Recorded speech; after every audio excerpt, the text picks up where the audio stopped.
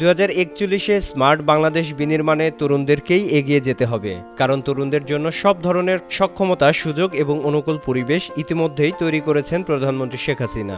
এমন মন্তব্য করেছেন জাতীয় সংসদের স্পিকার ডক্টর শিরিন শারমিন চৌধুরী। রোববার বিকেলে রংপুরের পীরগঞ্জে ফ্রিল্যান্সিং ক্যাম্প ও স্মার্ট বাংলাদেশ মেলা উদ্বোধন অনুষ্ঠানে তিনি এ মন্তব্য করেন। তরুণ প্রজন্মই আমাদের শক্তি, তরুণ প্রজন্মই বাংলাদেশকে এগিয়ে নিয়ে যাবে দুই হাজার একচল্লিশের স্মার্ট বাংলাদেশ বিনির্মাণে। কাজেই তরুণদেরকেই আমরা এগিয়ে নিয়ে যেতে চাই এবং তোমাদের জন্যে সব সুবিধা, সব ধরনের সক্ষমতার সুযোগ আমরা তৈরি করে দিতে চাই। সেই অনুকূল পরিবেশ ইতিমধ্যেই প্রধানমন্ত্রী শেখ হাসিনা তৈরি করেছেন।